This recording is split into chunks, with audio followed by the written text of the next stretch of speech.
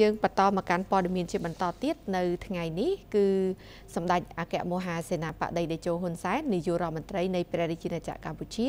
បានអនុញ្ញាតឲ្យរដ្ឋមន្ត្រីការពារប្រទេសជប៉ុនអញ្ជើញ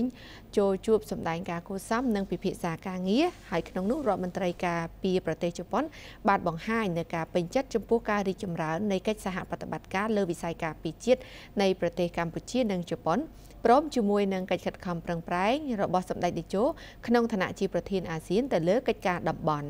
រដ្ឋមន្ត្រីការពារប្រទេសជប៉ុនឯកឧត្តមគីស៊ីណូបូអូត្រូវបានសម្ដេចតេជោហ៊ុនសែនប្រមុខរាជរដ្ឋាភិបាលកម្ពុជាអនុញ្ញាតឲ្យចូលជួបសម្ដែងការគួសមនៅវិមានសន្តិភាពនាព្រឹកថ្ងៃទី22ខែមិថុនានេះ។ ឯកឧត្តមអៀងសុផល្លែជំនួយការផ្ទាល់សម្ដេចតេជោបានថ្លែងប្រាប់ក្រុមអ្នកសារព័ត៌មានថាក្នុងជំនួបនេះរដ្ឋមន្ត្រីការពារប្រទេសជប៉ុនបានគោរពជំរាបជូនសម្ដេចតេជោថាឯកឧត្តមមានសេចក្តីរីករាយណាស់ដែលបានមកចូលរួមប្រជុំអាស៊ានជប៉ុននៅកម្ពុជាចំខួប30ឆ្នាំនៃ PKO ដែលជប៉ុនបានបញ្ជូនកងស្វ័យការពារមកកាន់កម្ពុជាឯកឧត្តមក៏បានគោរពថ្លែងអំណរគុណយ៉ាងជ្រាលជ្រៅចំពោះសម្ដេចតេជោដែលបានទទួលស្វាគមន៍យ៉ាងកក់ក្ដៅនិងបានជម្រាបជូនសម្ដេចពីការរីករាយដែលបានឃើញកិច្ចសហប្រតិបត្តិការលើវិស័យការពារជាតិនៃប្រទេសទាំងពីរកាន់តែមានការរីកចម្រើនមួយអាដាមមានសេចក្តីរីករាយជាមួយនឹងការផ្លាស់ប្តូរទស្សនកិច្ចរវាងថ្នាក់ដឹកនាំក្រសួងការពារជាតិកន្លងមកដែលធ្វើឲ្យកិច្ចសហប្រតិបត្តិការរវាងក្រសួងទាំងពីរកាន់តែរីកចម្រើន និងកាន់តែស៊ីជម្រៅ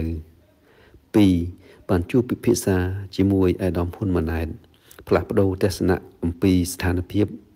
នាពេលបច្ចុប្បន្ននៅក្នុងតំបន់និងនៅលើពិភពលោក រួមជាមួយការ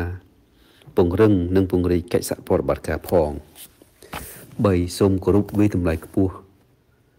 និងគ្រប់គ្រងការដឹកនាំរបស់កម្ពុជា ក្នុងការស្វែងរកដំណោះស្រាយបញ្ហាប្រទេសមានមកជាពិសេស ការជំរុញការអនុវត្តតាមគោលការណ៍ ជាឯកច្ឆន្ទ5ចំណុច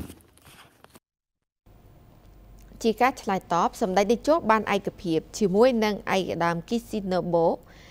ចំពោះកិច្ចសហប្រតិបត្តិការលើវិស័យការពារជាតិដែលកាន់តែស៊ីជម្រៅនិងបើកទូលំទូលាយជាពិសេសតាមរយៈការផ្លាស់ប្ដូរទស្សនកិច្ចនិងវិតម្លៃលើស្ថានភាពតំបន់និងពិភពលោកហើយសម្ដេចបានសម្ដែងការគាំទ្រចំពោះកិច្ចសហប្រតិបត្តិការដែលមានស្រាប់និងសូមឲ្យបន្តជំរុញផែនការកិច្ចសហប្រតិបត្តិការទ្វេភាគីកម្ពុជាជប៉ុនកាន់តែសកម្មថែមទៀតដូចជាការផ្លាស់ប្ដូរទស្សនកិច្ចនីតិហ៊ានវ័យក្មេងនីតិហ៊ានថ្នាក់ដឹកនាំជាន់ខ្ពស់បណ្ដុះបណ្ដាលលើកំ បណ្ដុះបណ្ដាលលើកកម្ពស់នៅសមត្ថភាពកងទ័ពជើងគោកកម្ពុជា លើការងារមនុស្សធម៌និងសង្គ្រោះគ្រោះមហន្តរាយដល់វគ្គសិក្សានីតិហ៊ានសកម្មបញ្ជាការសេនាធិការវិស្វកម្មនិងសុខាភិបាលជាដើម។